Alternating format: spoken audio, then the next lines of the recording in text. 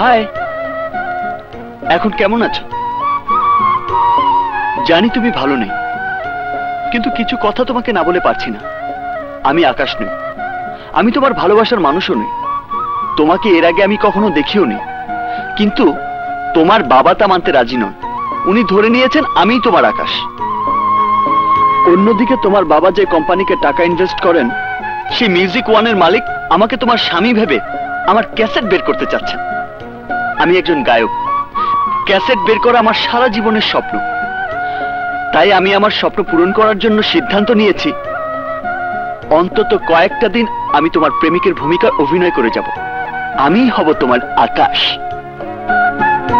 এতে করে তোমার বাবার জীবনও যেমন রক্ষা পাবে, তেমনি আমার স্বপ্নও পূরণ হবে। তোমার জীবন বাঁচানোর বিনিময়ে আমার এই অপরাধটুকু আশা করি তুমি ক্ষমা করে দেবে। আমি কথা দিচ্ছি। আমার ক্যাসেট বের হওয়ার পর আমি সবাইকে সত্য কথা বলে দেব। প্রমিস আমাকে ক্ষমা করবে। আমার স্বপ্ন পূরণের জন্য এছাড়া আমার কাছে আর কোনো পথ খোলা নেই। এখন আসি। তুমি ভালো থেকো। Bye bye bye bye bye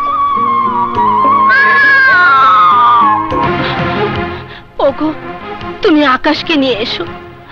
ভাইজান এর এই মধ্যে দু দুবার ওকে খুঁজেছে। ডাক্তার সাহেব বলেছে এই সময় ওনার কাছে আকাশের থাকাটা খুবই জরুরি। তুমি যাও জলদি ওকে নিয়ে এসো। হে আল্লাহ আমি কোত্থেকে নিয়ে আসব ওকে? কি বলব ভাই ভাইজানকে? আঙ্কেল! আপনার আকাশ এসে গেছে। সত্যি বলছো? জি। বাইরে গিয়ে আমি ভেবে দেখেছি কিছুদিন আকাশের চরিত্রে অভিনয় করলে যদি দু দুটি জীবন বেঁচে যায় তাহলে আমার তো তেমন কোনো ক্ষতি নেই। কারও জীবন বাঁচানোর চেয়ে মহৎ কাজ তো আর কিছু হতে পারে না। তুমি তুমি সত্যি মহৎ। চলো বাবা। জি চলুন। এসো। আকাশ। ভাইজান। ভাইজান চোখ খুলুন দেখুন কে এসেছে।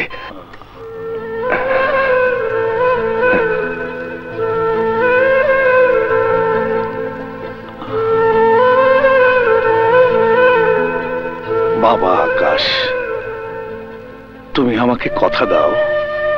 কাজলের জ্ঞান না ফেরা পর্যন্ত তুমি আমার চোখের আড়াল হবে না। আমি এখানেই আছি আঙ্কেল। ডোন্ট ওয়ারি আপনি শান্ত হন রেস্ট নিন। আপনি কোনো টেনশন করবেন না। আমার আর কোনো টেনশন নেই বাবা।